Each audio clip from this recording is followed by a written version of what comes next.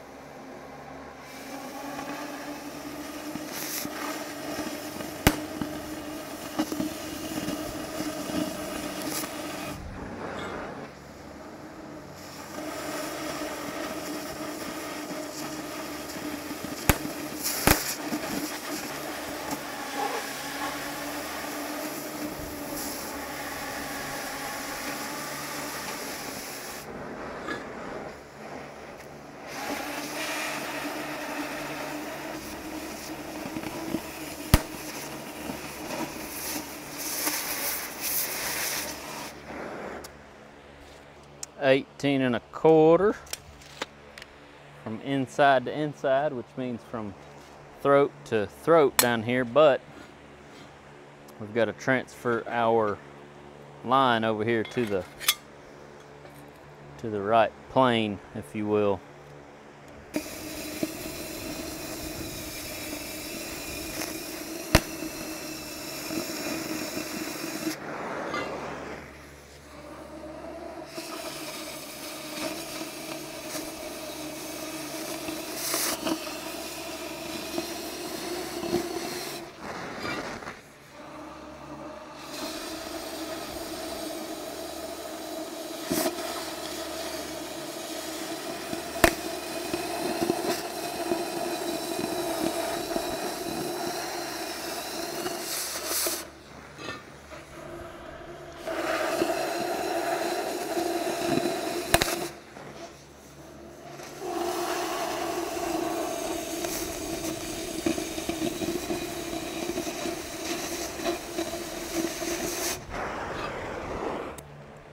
Show you a little trick I learned on the pipeline.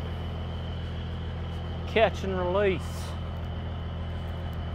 Kidding, that's not what it's called at all. It's really just called catch.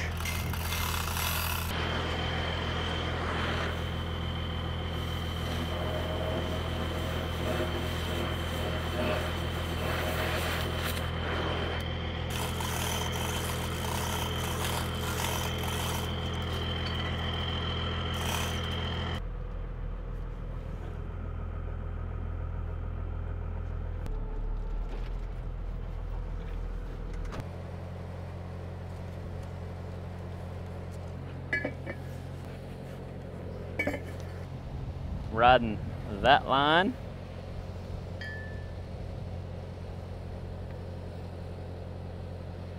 Riding that line. Now we'll throw a square in here. Okay, it needs to lean this way, so I'm gonna attack this side first. I have a strange feeling it's gonna be magnetized because of these shavings that are stuck on the end of here. Mm.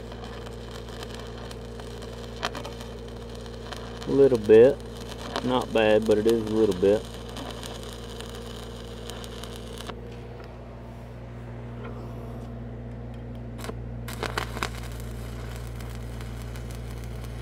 So when I get on some pipe that's a little bit magnetized, the uh, tacking it with 7018 is a little bit more difficult. So I like to take my uh, 532 8010 or 6010 will work also. Keep it on the same heat that I had my uh, 332 on, which is, uh, let's see, I'm on the 150 range on my left knob on my SAE 300, and then on my fine current, I'm on 55. And then whenever I start welding,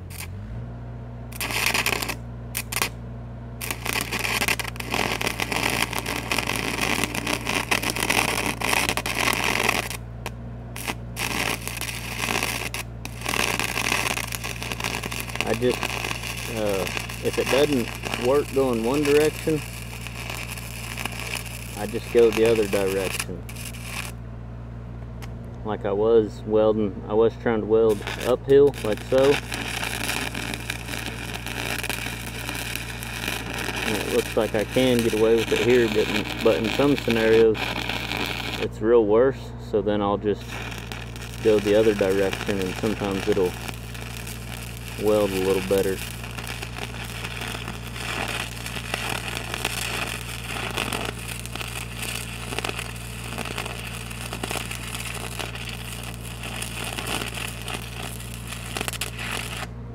All right, now we're on this other side where I've fooled around with it. Uh, we've also got a gap over here. That's not not gonna help. But uh, another thing, especially with 8010, maybe not so much with 6010, but with 8010, once it gets about half or maybe a little bit less than half left over, it'll be even harder to weld with on magnetized pipe. So I'll just get a new rod instead of trying to burn it all the way down because you'll just continue to fight it if it's magnetized bad enough.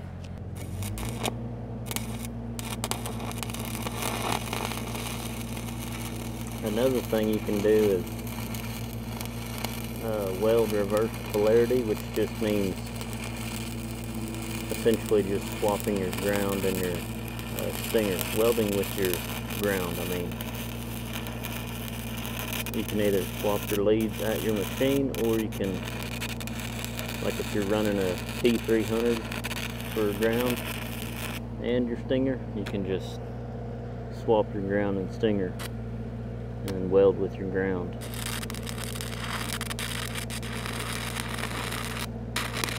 And the more weld you get on it, the easier it gets.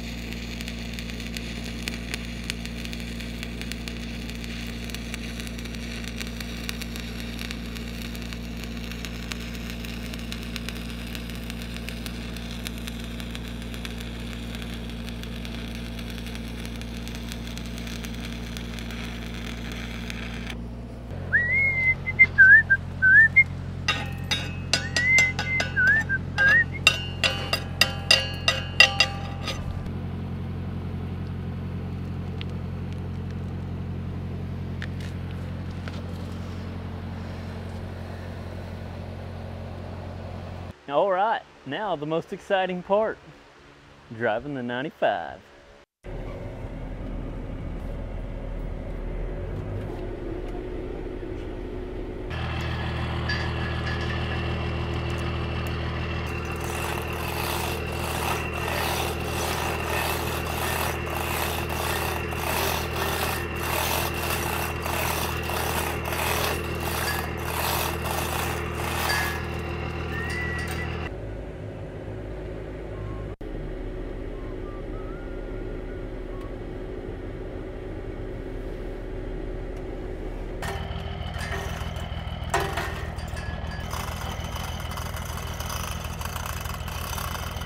My advice for this week for those of you that commented in the comment section and let me know your age and how long you've been stick welding.